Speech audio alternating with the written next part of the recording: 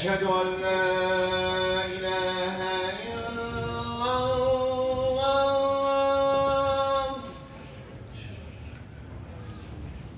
أشهد أن لا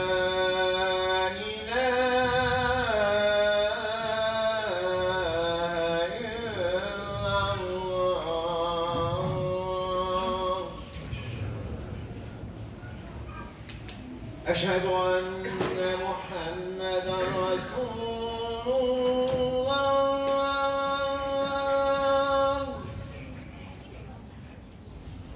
أشهد أن محمدا رسول الله.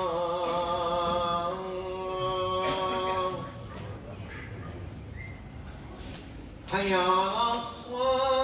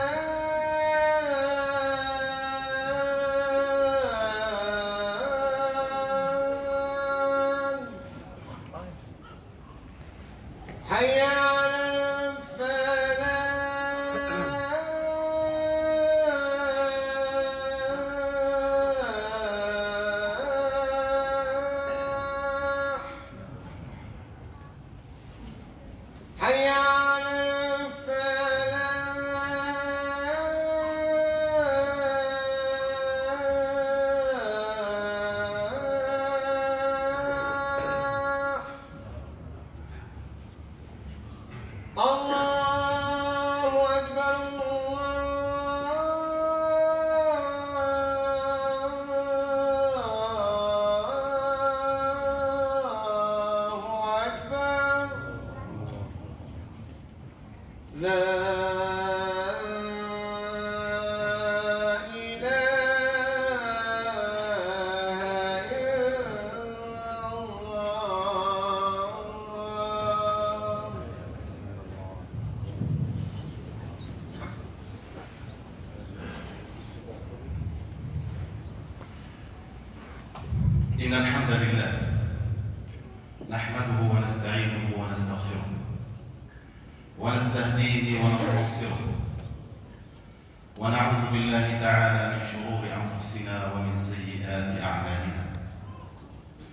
من يهديه الله فهو المهتد ومن يضلل فلن تجد له وليا مرشدا. وأشهد أن لا إله إلا الله وحده لا شريك له وأشهد أن محمدا عبده ورسوله. صفيه من خلقه وخليله. أرسله بالحق بشيرا ونذيرا. ليحق الحق ويبطل الباطل ولو كره المشركون. اللهم صل وسلم وبارك وعظم وكرم على سيدنا محمد عليه وعلى آله كل وصحبه كل أجمعين. أما بعد. قال الله عز وجل في محكم تنزيله يا أيها الذين آمنوا اتقوا الله. يا أيها الذين آمنوا اتقوا الله وكونوا مع الصادقين. هذا أمر من الله سبحانه وتعالى. أن يكون المسلم مع الصادقين. أن يكون معهم في القلب. وفي القول وفي العمل أن أن يكون صادقا في جوارحه أن يكون صادقا في قلبه أن يكون صادقا في صلاته أن يكون صادقا في توحيده أن يكون صادقا في عقيدته أن يكون صادقا في صيامه. إنك إنك عبد أمام الملك العظيم الذي يعلم السر وأخفى. لا تخفى عليه خافية. هو الذي أوجدك من العدم. لم تكن شيئا مذكورا. ثم أوجدك. ثم رباك بنعمه العظيمة. ثم أنعم عليك بالإسلام. ثم أمرك ونهاك أن تكون مع الصادقين. إن الله سبحانه وتعالى وصف كلامه بالصدق. قال ومن أحسن من الله قيلا. ومن أصدق من الله قيلا. ومن أصدق من الله حديثا. ووصف كتابه بالصدق. كتاب أنزلناه مبارك. كتاب أنزلناه مبارك ووصف نبيه صلى الله عليه وسلم بالصدق. ووصف أولياءه وأنبياءه بالصدق. حيث قال سبحانه وتعالى وجاء بالصدق وصدق به. أولئك هم المتقون. وصف الله سبحانه وتعالى والذي جاء بالصدق وصدق به أولئك هم المتقون. الصادق هو الذي يكون في صفوف المتقين. الفرق بين الصادق والكاذب كما بين السماء والأرض. عندما يقول العبد لا إله إلا الله فإنك أعلنت الولاء وأنك عاهدت الله أنك لا تعبد إلا الله ولا تتوكل إن تتوكل إلا على الله ولا تسأل إلا الله ولا تدعو إلا الله ولا تطلب كشف الضر إلا من الله أما يجيب المضطر إذا دعاه ويكشف السوء إذا قلت لا إله إلا الله لا بد أن تكون صادقا. علامة الصدق ما هي؟ الاتباع. أن تكون صادقا مع أهلك وزوجك. أن تكون صادقا في مجتمعك. أن تكون صادقا بينك وبين نفسك. وأعظم الصدق الصدق مع الله. هذا أعظم الصدق. إذا كنت صادقا أري ربك صدق إيمانك. أري ربك صدق إيمانك. إن الله خلق الجنة وأعد لها أهلا وخلق النار وأعد لها أهلا فالصادق والصادقون هم الذين لهم الفوز يوم القيامة. الذين لهم المقامات والعيشة الرضية والسعادة الأبدية حيث قال سبحانه وتعالى إن المتقين في جنات ونهر في مقعد صدق عند مليك مقتدر. الصدق يترتب عليه قبول الأعمال قبول الأعمال. الصدق يترتب عليه إذا كان العمل مقبولا عند الله سبحانه وتعالى. إياك أن تفرط بذلك. إنك ستقف أمام الجبار. يعلم السر وأخفى. كن صادقا. كن صادقا في نفسك وفي صلاتك. كن صادقا في زكاتك وعطائك. كن صادقا في الصلاة وفي القيام. وفي قراءة القرآن عند ذلك تكون أهلا لأن تكون من أصحاب هذه المقامات. قال الله عز وجل يوم ينفع الصادقون صدقهم. هذا يوم هذا يوم ينفع الصادقون صدقهم. ما في. لهم بسبب صدقهم مع الله. بسبب صدقهم مع الآخرين. لأن الصادق لا بد أن يهديه الصدق إلى البر. والبر إلى ماذا يهدي؟ إلى الجنة. هذا يوم قال الله هذا يوم ينفع الصادقون صدقهم. لهم جنات تجري من تحتها الأنهار خالدين فيها. خالدين فيها. هذه هي السعادة بسبب ماذا؟ بسبب صدقهم مع الله. عندما تقف يوم القيامة أمام الله لا ينفعك إلا هذا الصدق. لا ينفعك إلا هذا. لأن من كان صادقا في نفسه سيترجم هذا الصدق إلى عمل وإلى إخلاص وإلى إنابة وإلى دعاء وإلى ذكر وإلى وإلى وإلى. أما إذا كان كاذبا سيكون منافقا سيرائي الناس سيتصدق رياء سيصلي نفاقا سيكذب على الناس. والله أعلم به لهم جنات تجري من تحتها الأنهار.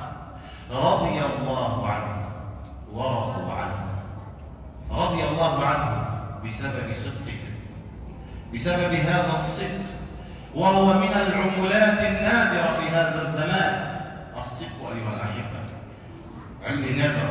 وهو من العملات النادرة في هذا الزمان. وهو قليل بل هو أقل القليل في هذا الزمان. إلا من رحم الله. لأن هذا الصدق يترتب عليه سعادة. يترتب عليه إعانة من الله. يترتب عليه لطف. يترتب عليه عطاء وستر من الله سبحانه وتعالى على هذا الصادق. إذا زلت القدم يوما ستره الله.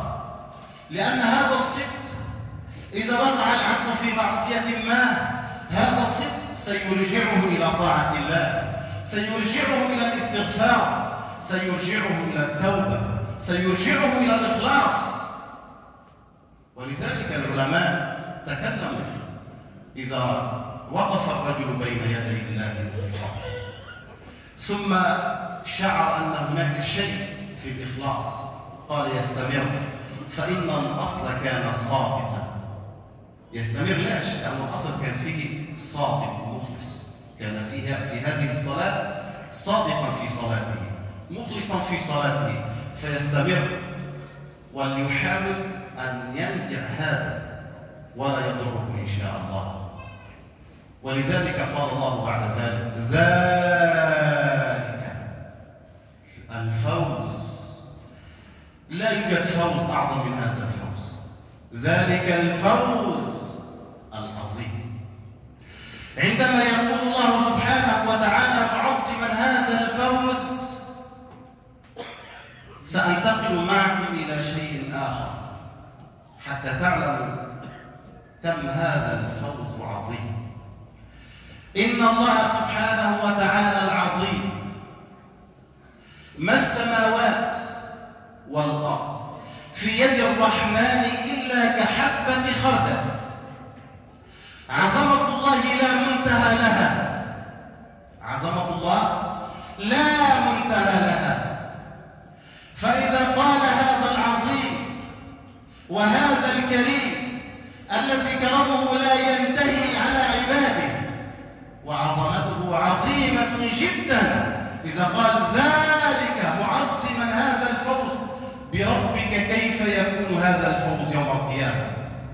لو قال لك ملك من ملوك الأرض سأعطيك اليوم هدية عظيمة.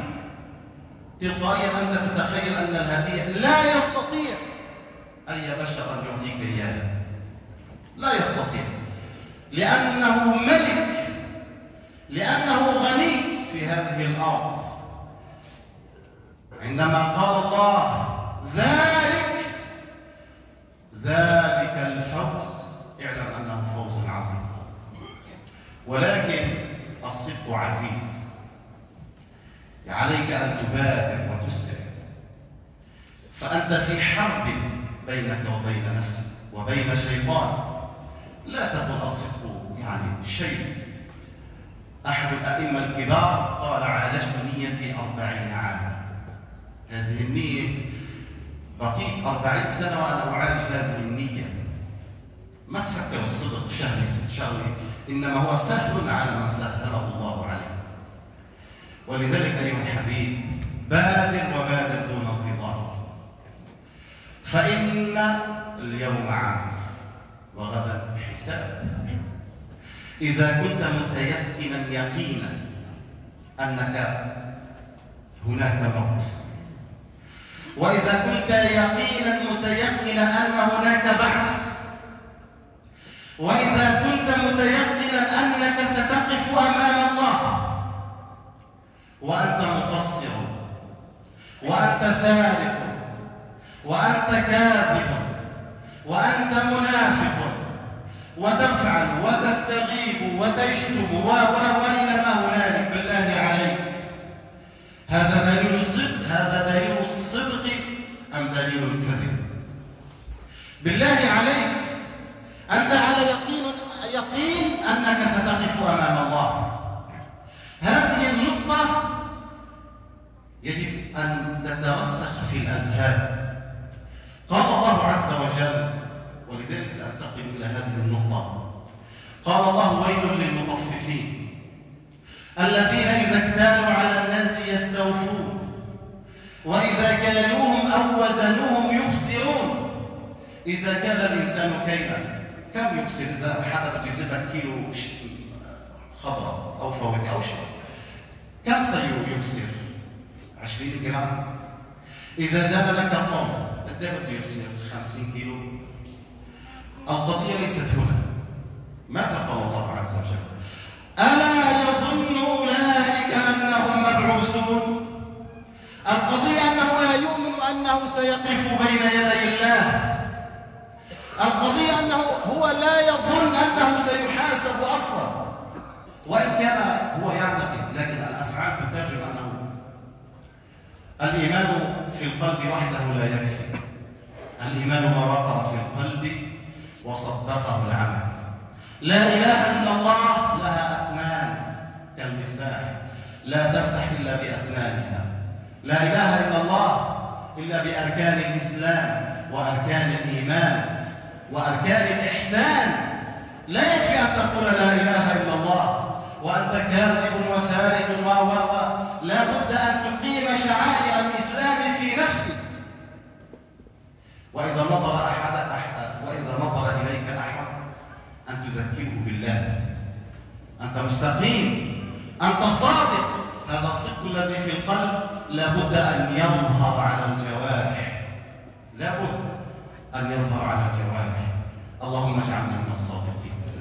اللهم اجعلنا من التائبين إليك. أقول قولي هذا وأستغفر الله لي ولكم. فاستغفروه فيا فوز المستغفرين